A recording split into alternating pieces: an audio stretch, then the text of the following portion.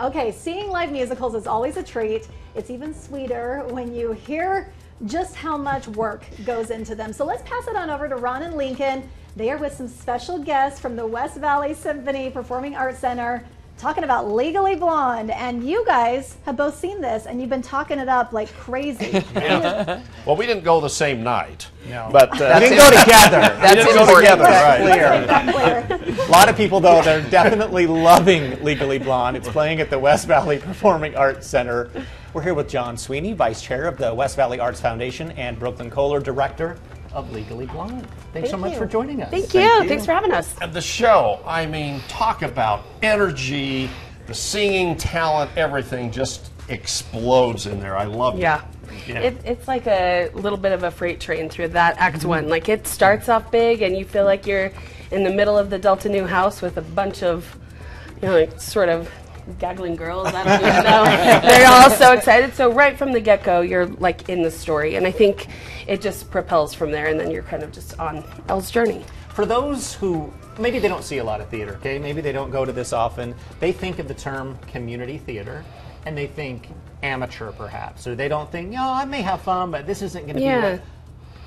And I was blown away by this production. I was too. I mean, honestly, totally. this was really, yeah. really good. Thank Can you, you talk about what went into this and the talent? Well, I think this community has so much talent, and, and John sees more auditions than probably anyone in the state. so, um, so ultimately, though, we just have so much talent in this community, and so when when you go to see community theater, there is a lot of really good talent. We just were able to sort of gather a bunch of very talented artists together that are all local and we're really happy with how it all turned out. It's so fun. And as director, how much is Brooke into this? yeah, yeah. I think you definitely see my stamp on it. You yeah. you've known me directing at the Desert Star as well, so you see my type of humor kind of woven through it. But the actors bring so much to it as mm. well that sometimes it's just a matter of finessing those moments so that it's a universal language. And comedy is a universal language. If who doesn't want to like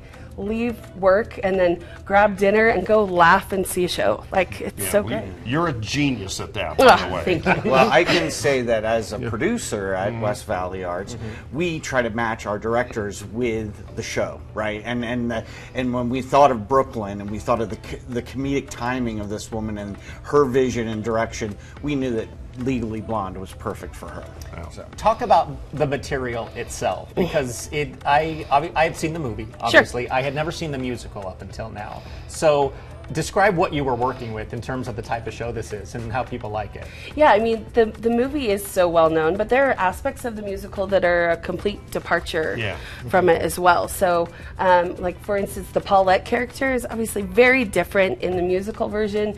She's from Boston. She's obsessed with Ireland. like so, it's so different than Jennifer Coolidge playing uh, playing Paulette. So I think there are aspects where you really can mold your own, and you're not in the shadow of what the movie was. And you have a couple of canine stars too. yes. Who doesn't love puppies? Yeah, we have a Chihuahua, itty bitty, and Nova is the bulldog that right. is Paulette. So. Okay, there's something else we want to talk to, kind of a backstory to this. Uh, the theater there in West Valley. Beautiful theater, by the way, but it came that close to closing, right? Yeah. Um, essentially, since Hale Center Theater had left yeah. the building, there was a period of time where there was some, you know, looking at what, what, what does West Valley City want to do with the building, and they determined that they wanted to try and build a theater company. But I think in in the end, you know, the the idea of this government agency running a theater company just wasn't working out. And so there was a discussion of, you know, possibly uh, moving the theater company to the Utah Cultural uh, Celebration Center.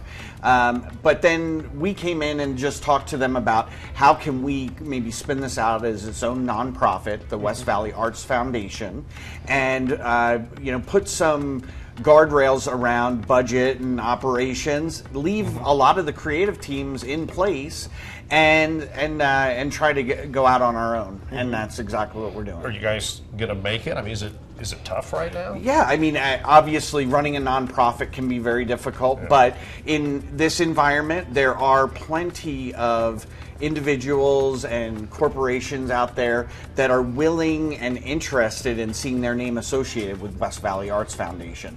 And so we're hoping that the attention that we got with all this from West Valley City will help provide us an opportunity to, you know, put a name on a seat, put a, you know, name on a rehearsal hall, put a name on the building, who knows, um, and and then allow.